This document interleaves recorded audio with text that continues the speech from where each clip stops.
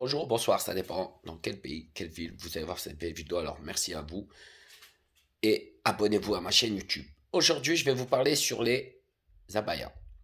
Alors c'est des vêtements euh, super classe qui sont qui font la une euh, des journaux et qui qui font parler tous ces racistes et tous ces mauvaises personnes qui ont une mauvaise idée dans leur tête et qui veulent s'en prendre aux musulmans tout en faisant semblant de s'en prendre pas du tout aux musulmans, mais à ces certains habits-là.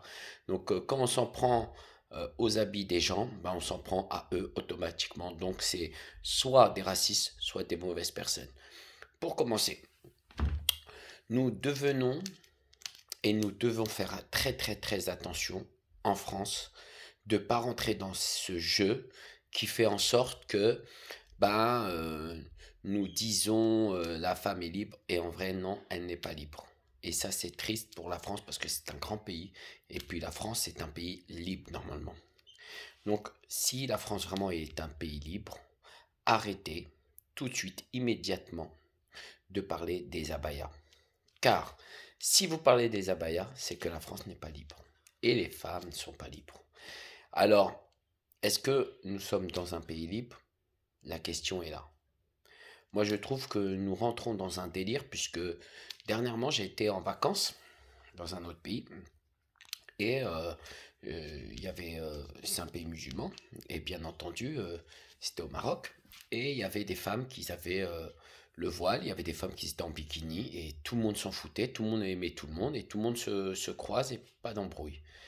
Et j'ai allumé la télé, BFM TV, et je suis tombé sur port de voile à la plage, l'Ibaya, la, les, babouches, euh, ces terroristes qui portent des babouches, euh, voilà.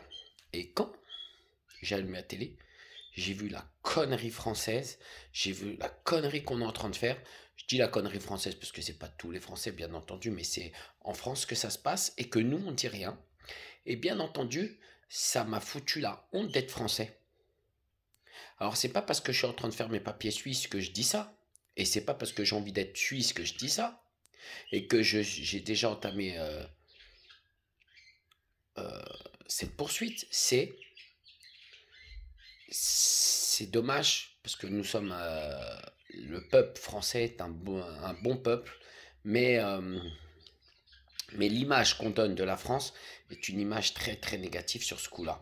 Donc, alors, moi je me dirais bien oui, quand j'étais au Maroc, j'ai vu ça. Et quand je vois que j'ai la télé en France, on parle mal des, des femmes voilées ou des femmes qui portent.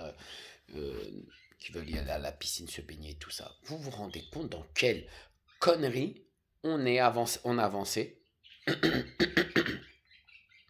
Aujourd'hui, je vais faire juste un message respect et force à toutes les femmes qui portent le voile et respect et force à toutes les femmes qui ne le portent pas. Sauf ceux qui ont la haine contre l'autre, autrui. Très important que je le dise.